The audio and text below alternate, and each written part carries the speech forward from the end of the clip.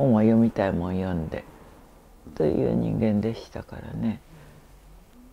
で別に選ぶることは全然しませんしね。私はまあ一種の変人の類だと私は思ってしまいました。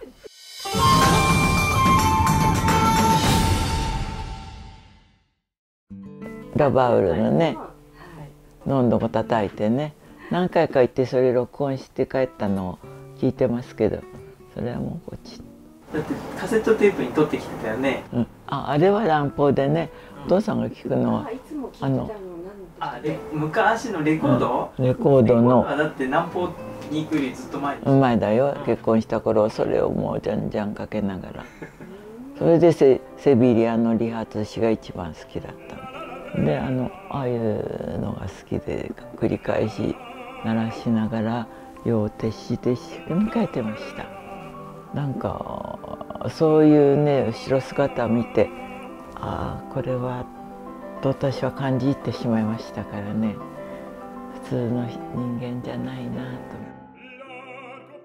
哲学書を読みに読んでることは分かったけどゲーテに一番浸水したっていうようなことはちらっと言ってましたけどね。戦後間もない頃は若い青年なんか哲学書を読むことが流行ってたらしいですよみんな。でまあいろいろ読んだ中でゲーテ一番。それはまだ戦争に行く前ぐらいは読んでたのかな。勉強は嫌いで学校も行ってないですしね。本は読みたいもん読んで。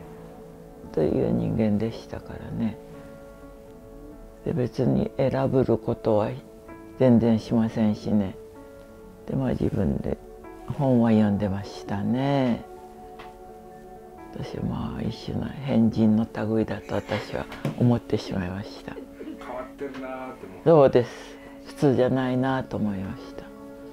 で酒は一滴も飲めないんですよ体質的でただヘビースモーカーだったんでね今日から母親があの茂の禁煙にああなたの力で禁煙をいけある時とやめましたけどもね当時はもう本当にそこの天井がすすけるぐらい狭いところで。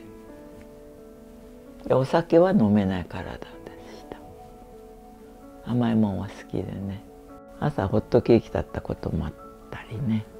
それはそかおはぎなんかはよく作りましたよ。妖怪というかね子供の時からね墓場行ってみるのがね夜でも。なんか地であの世でも覗けると思ったのかな。